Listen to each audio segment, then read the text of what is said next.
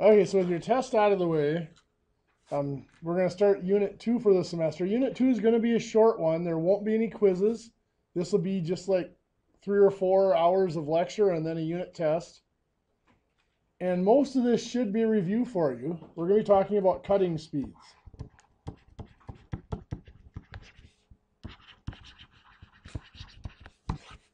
So what we're going to start out with is if we know the parameters, figuring out what the surface cutting speed is.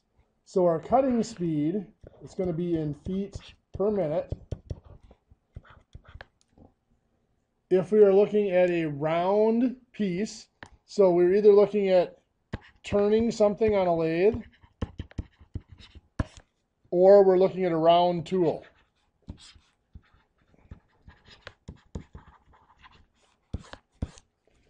Like a mill or whatever. So the first thing we have to do is we have to find how far the surface of that piece or the surface of that tool is going to travel in a minute. Well, one revolution of a circle is the circumference of a circle. That is going to be pi times diameter. One circumference of the circle. Now, if it's turning at n RPMs, it's going to turn n times a minute. So the circumference times the RPM is going to give us the distance that the surface of that travels in one minute.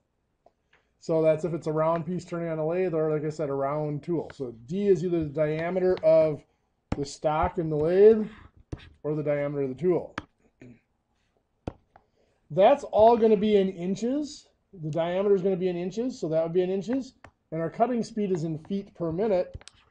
So would we divide that by 12 to turn that into feet? Now you guys, I believe, do what diameter times RPM over like 3.84 or something like that. 82.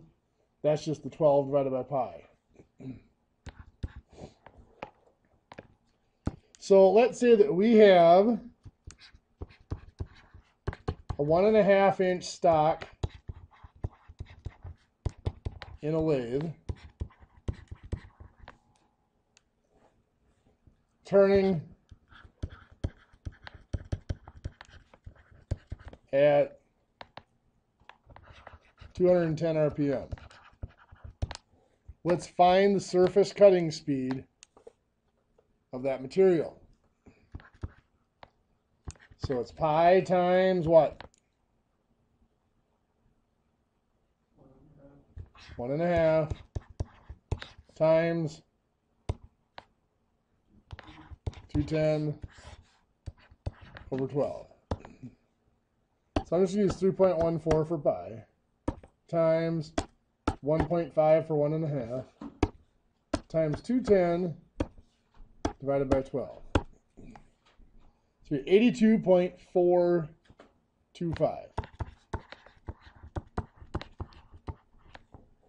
And that is going to be feet per minute. So the surface cutting speed on that piece is 82.425 feet per minute. So I'm going to have you guys try one.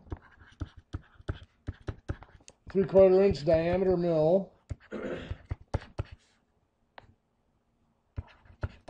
At 300 RPM. Find the surface cutting speed of that tool. I'll give you a minute to figure that one out.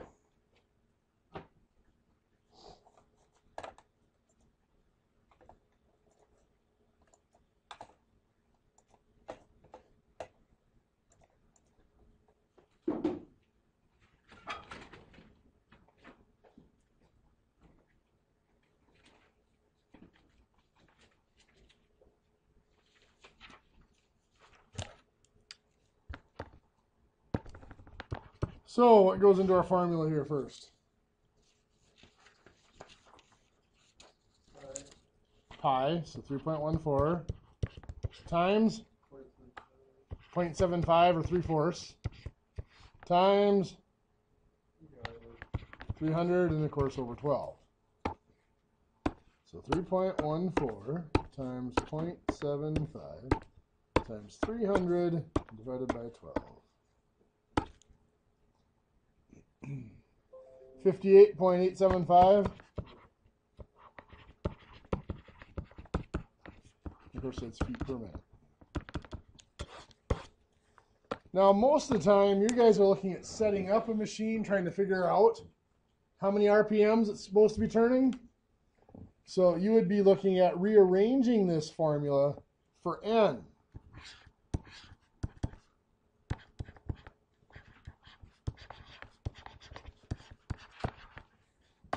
So if I wanted to have N by itself here, I have to get rid of pi, d, and 12. So I'm going to multiply both sides by 12. So that gives me that 12c equals pi dn. Then I'm going to divide both sides by pi d. So we get 12c, 12 times the cutting speed over pi times diameter is equal to our number of RPMs.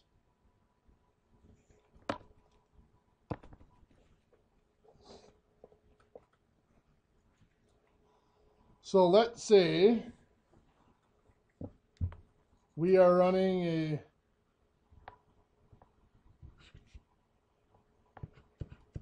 one and a quarter inch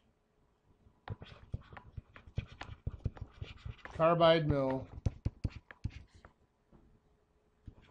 on on aluminum.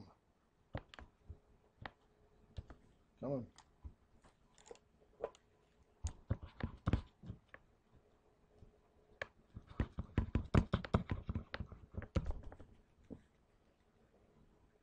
So running a one and quarter inch carbide mill on aluminum, we want to know how many RPMs we can run it at.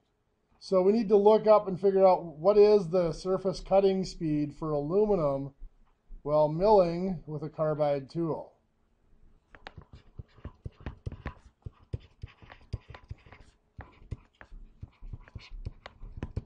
The table I have gives the range of that speed between 1,000 and 1,800 feet per minute. Now, a lot of that depends on your, your uh, coolant. If you have a pressurized coolant, you can run faster. You can run up to the 1800. Otherwise, what happens if you don't have a pressurized coolant? Yeah, it gums up your tool is what it does.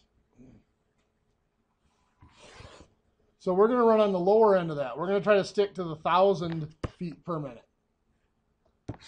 So to find my number of RPM, the 12 is a constant. What goes in for C?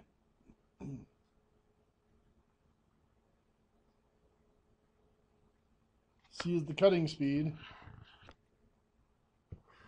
That's going to be our 1,000 feet per minute. Over pi times 1.25, one and a quarter, right? Now, when we put this in the calculator, we've got to be careful. We do 12 times 1,000. Then we got to do divided by, we got to put the bottom of this in parentheses. 3.14 times 1 and a quarter, 1.25. And then we got to close the parentheses. If we don't put that bottom in parentheses, it will not calculate right. so we get 3,057 RPM.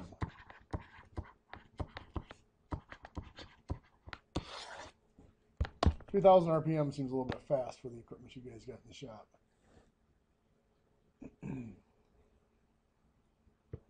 a thousand feet per minute for a cutting speed on aluminum still a little bit fast unless you have the right system. have you guys talked about different cutting speeds for materials yet? Do you guys have any charts that you guys go off of for No, just the machinery handbook? general numbers. just general? What have they given you for aluminum as what your surface cutting speed should be? Um, like three hundred, 300? Really, running it really low. four hundred. Okay. Well, miles feels like two hundred, so Yep.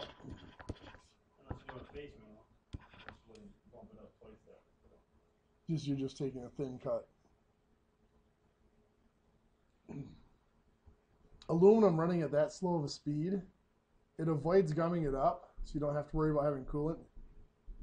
Um, the thing with aluminum running that slow is you run the risk of gouging, literally ripping out chunks of the aluminum and not getting a good surface finish.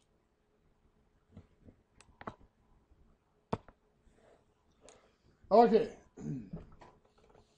So we're going to have you do this.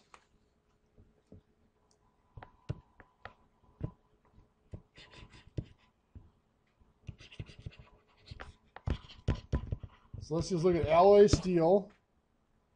We're going to deal with a two inch diameter piece in a lathe. And we're going to have you running just a high speed steel tool. So we're going to have you running it at 80 feet per minute is your cutting speed. I want you to find calculate the RPMs needed for that.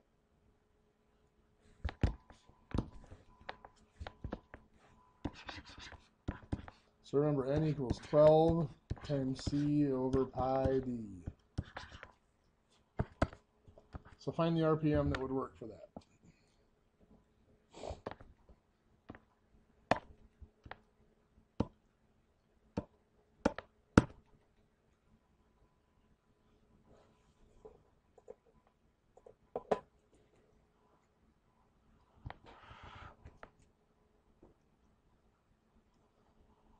So we have 12 times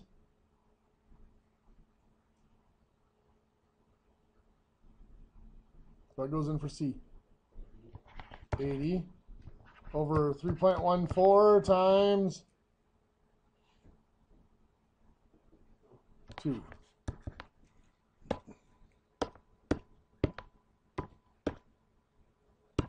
So 12 times 80 divided by, I have to remember, put in parentheses, 3.14 times 2.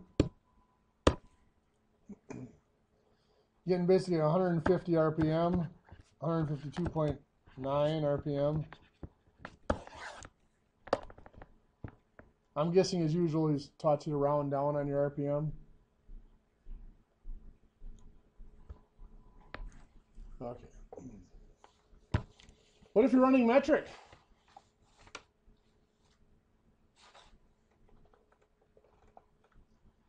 What if you have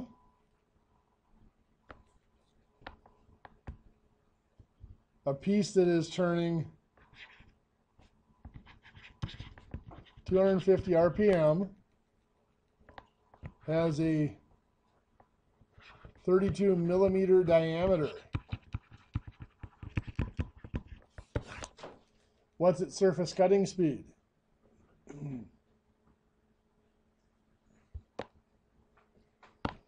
Now, of course, we're finding our surface cutting speed here is going to be in meters per minute.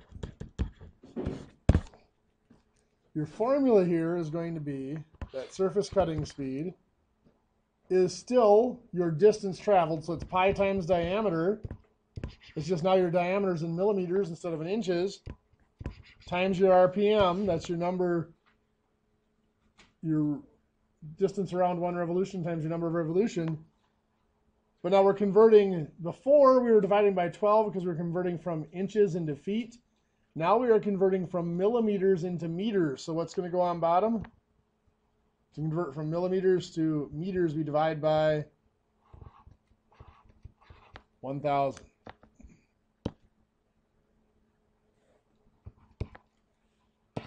So for this scenario here, 250 RPMs on a 32 millimeter piece. That's pi times 32 times 250 over 1,000. So 3.14 times 32 times 250 divided by 1,000 25.12 meters per minute is your surface cutting speed. They ask, is that reasonable? Well, you're used to having it in feet per minute. Um, your conversion, it's about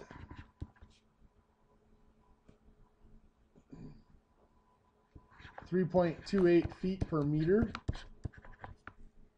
is approximate conversion. So if you take 25.12 times 3.28, that's giving you about a little over 80 feet per per minute. So that's a reasonable cutting speed. Do you guys do anything in metric units? No. Um,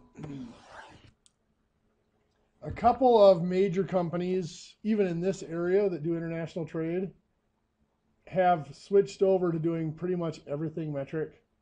Um, IBM Corporation, which I know isn't in this area, but they do everything, domestic or foreign manufacturing in metric units. And they figured it saved them nearly $10 million the first year they did it because they didn't have to go through all of the work of engineering everything in both units. They didn't have to dual label every print. And then because of the round off error when you're converting units from metric to standard or standard to metric, they had less scrap. They had less uh, interference error with their parts working together.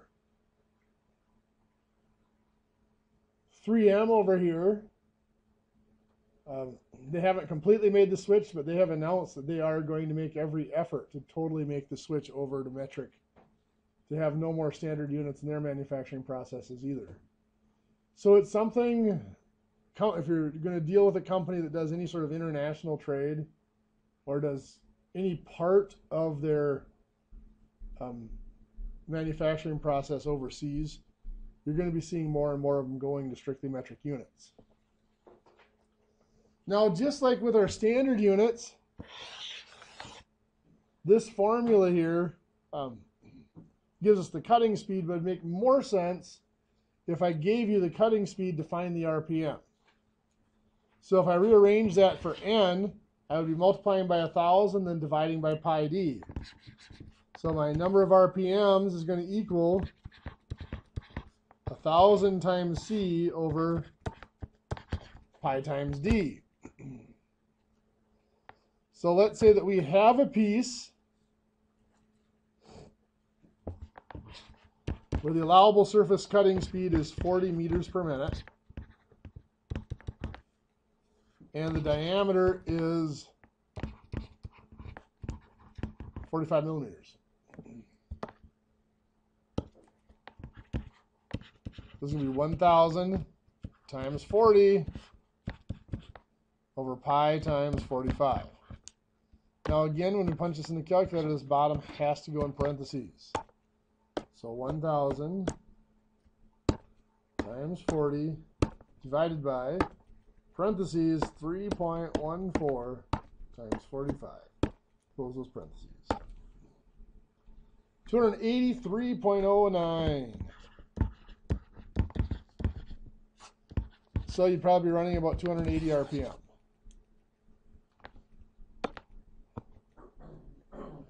Okay, now the next thing that we're going to talk about here is cutting time.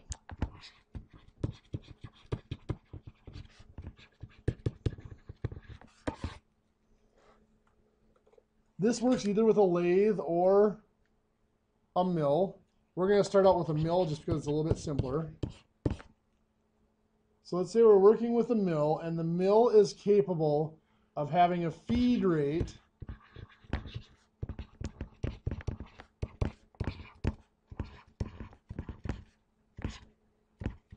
four thousandths of an inch per RPM, per revolution. Per RPM.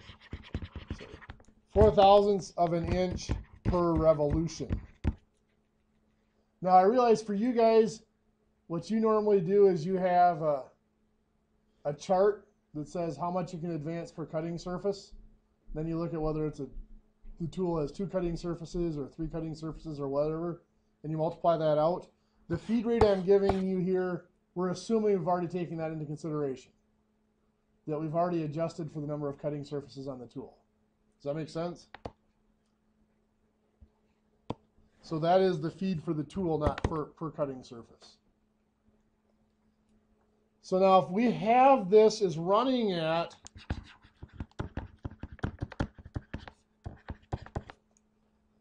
let's say we're running at 800 RPM. And we need to make a four inch cut. How long is that going to take? Well, the time to make a cut, time in minutes, is equal to the length of that cut in inches divided by F, which is the feed rate of the tool, that's going to be in inches per revolution, and N, which is our RPM.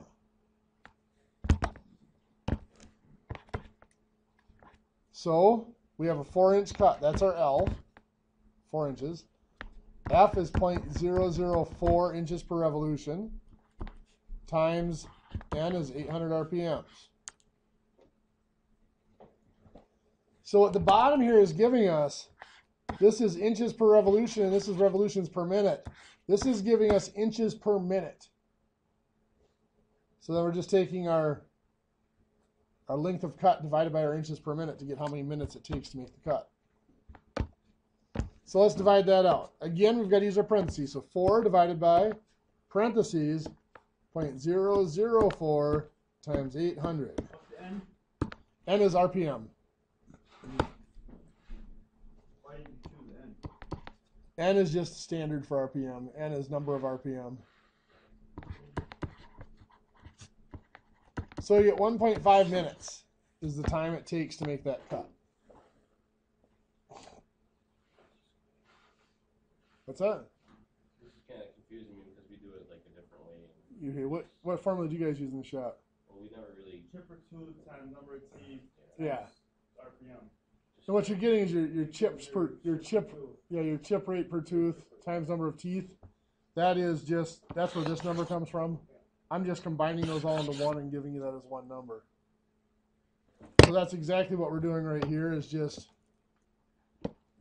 F includes that whole thing and then times RPM. And then RPM we do three point eight two times service service speed divided by diameter. You're looking for uh, finding the RPM. Yeah. Yeah, all you're doing for your RPM is you're combining uh I get up here to the 12 divided by pi is 3.82. You're just taking the pi out of it is all.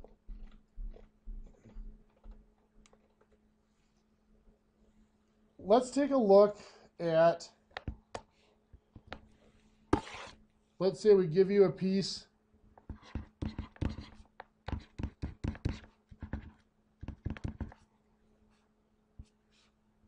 we're going to allow the, the material combined with our tool combination.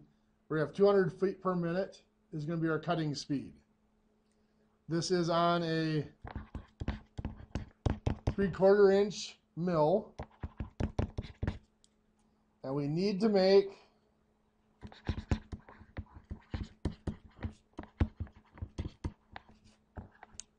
a, let's say we're going to make a 10 inch cut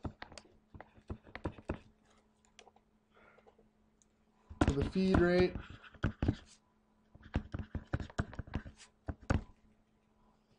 Well, let's do it. Um, let's say we've got what is a three flute mill, a three tooth mill.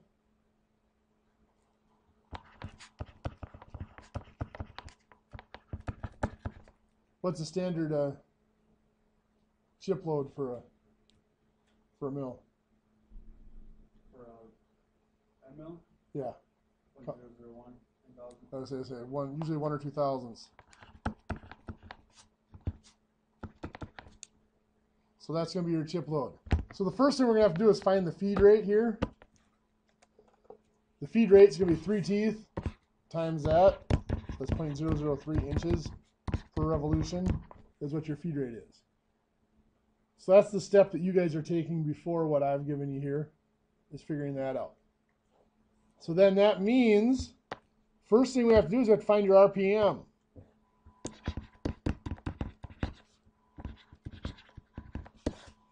RPM N is going to equal 12 times your cutting speed over pi times D. Or 3.82 times your cutting speed over diameter. So what goes in for cutting speed here? C is cutting speed, surface cutting speed. So for this problem, that's the 200 feet per minute. Over, our diameter was three quarter inch. We'll put it as 0.75. So 3.82 times 200 divided by 0.75. It's 1018.67 RPM. Now you guys would probably round that off to a 1000 RPM. No, No, you'd leave it I think it's Just the whole. thousand twenty. 1020 or 1019. We'll go 1019. So if we round that to 1018 RPM, we need to know our cutting time. So our time, remember, was length of cut divided by feed times RPM. So the length of cut here is a 10 inch cut. Our feed that we found is 0.03 times our RPM of 100 and- or 1019. So this is 10 divided by, we've got to put this in parentheses, 0.003 times 1019. We get 3.27 minutes. Is your time to cut. Now, if you guys have formulas from the shop that are slightly different from these, feel free to use them. You're going to come up with pretty much the same answer. The only thing that you will have to use is the, the surface cutting speeds that they give you in the packet. So I'm going to give you a packet here, and in the packet, it is going to be page 242, 1 through 57, the odds.